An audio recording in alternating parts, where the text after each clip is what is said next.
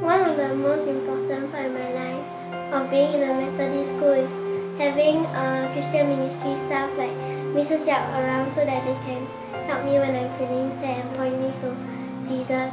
I think it's really good and helpful for us because some people might just think that they can't move further but she motivates us and encourages us to do better at whatever we do. When they listen, they show that they genuinely care and, and, and you can see from their response how much they actually think or care and pray for you. As we say, the fears that chain us, the pride that withholds us. He helped me learn more about Jesus. When I was primary one, I was like very blur what's going on. What, who is Jesus? All this. So this, then I found Mrs. Young told me that to come to her office during recess and I got to know Jesus. At first it was quite hard.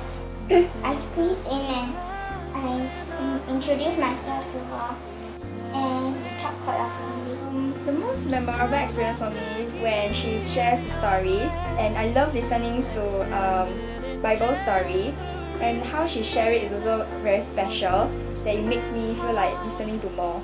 I think that uh, some of the things that were very encouraging to me were how um, some of uh, the madams they shared their own personal experience, um, experiences that were similar that you could relate to.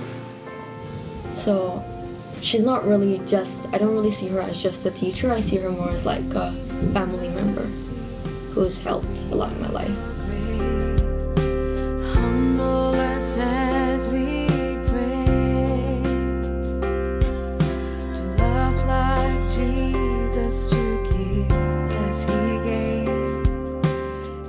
That it's very rewarding when the children participate uh, in questioning, participate in worship, participating in telling me what they have learned.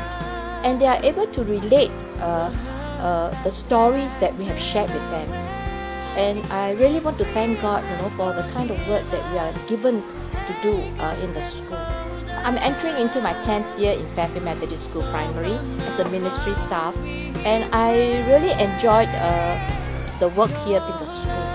And this is a big mission field because we are touching lives of 1,600 over students and even teachers, about 100 over teachers.